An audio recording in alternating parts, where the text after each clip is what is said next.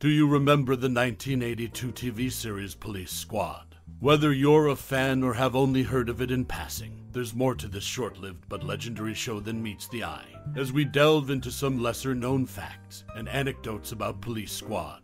You might find yourself wondering what's your most cherished memory or personal experience related to this classic series. We'd love to hear your stories and memories in the comments below.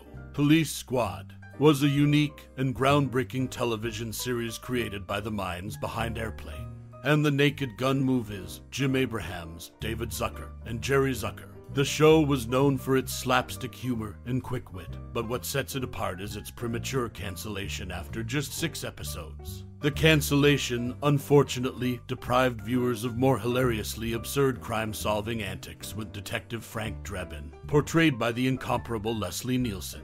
The show's cancellation raised many questions. Were the jokes too ahead of their time? Did audiences not quite grasp its comedic brilliance? Or was it merely a victim of unfortunate scheduling? Whatever the case, Police Squad found its redemption in the later Naked Gun film series, which became a massive success. Now, here's a fascinating tidbit. Each episode of Police Squad featured a different guest star as the villain, including William Shatner, Lorne Greene, and Florence Henderson, adding to the show's charm. So, as we celebrate the legacy of Police Squad, we invite you to share your most cherished memory or personal experience related to this classic series. We would love to hear your stories and memories in the comments below. In the 1982 TV series Police Squad, one distinctive and amusing subtlety was the intentional misuse of Frank Drebin's rank. He would often announce himself as Lieutenant Drebin, only to be immediately introduced as Captain Drebin by others. This play on his title was a hallmark of the humor for which the Abrahams and Zucker brothers team is known. It added an element of absurdity to the character, and the show contributing to its comedic appeal. Police Squad originally had Robert Stack as the first choice for Frank Drebin, but he turned it down.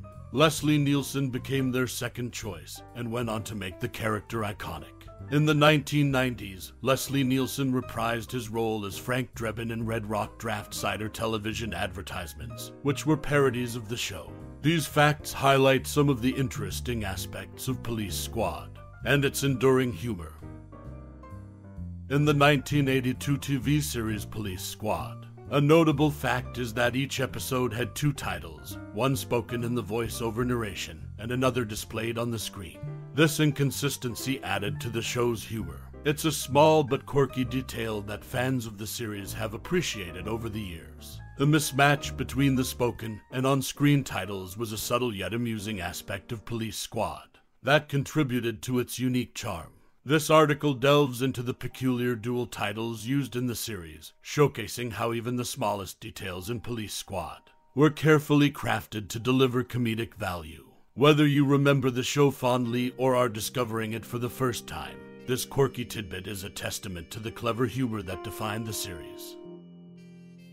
When the ABC TV network canceled the series after six episodes, their reason was quite unusual. ABC Entertainment president Tony Thomopoulos claimed it was because the viewer had to watch it in order to appreciate it. However, this reasoning was heavily criticized, with TV Guide magazine calling it the most stupid reason a network ever gave for ending a series. Interestingly, the series producers, while publicly disappointed, were privately glad that the network canceled them so soon.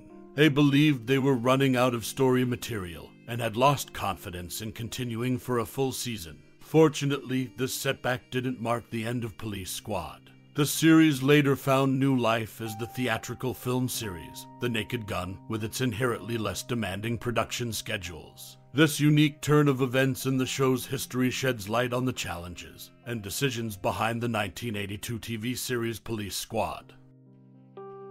In the world of television, the 1982 series Police Squad stands out for its unique approach to humor and its refusal to conform to typical sitcom conventions. One interesting fact about the show is ABC's desire for a laugh track, which the creators, David Zucker, Jim Abrahams, and Jerry Zucker, staunchly resisted. Their decision to keep the show laugh track free contributed to its distinctive comedic style. Police Squad was a parody of crime dramas, and it aimed to deliver humor through clever writing. And absurd situations rather than relying on canned laughter. This choice allowed viewers to fully appreciate the show's humor without being prompted when to laugh. The absence of a laugh track was a deliberate and essential aspect of the series, emphasizing its commitment to unconventional and inventive comedy. In a television landscape where laugh tracks were the norm, Police Squad dared to be different, and its refusal to conform is just one of the many reasons why the series remains a memorable and influential classic in the world of comedy.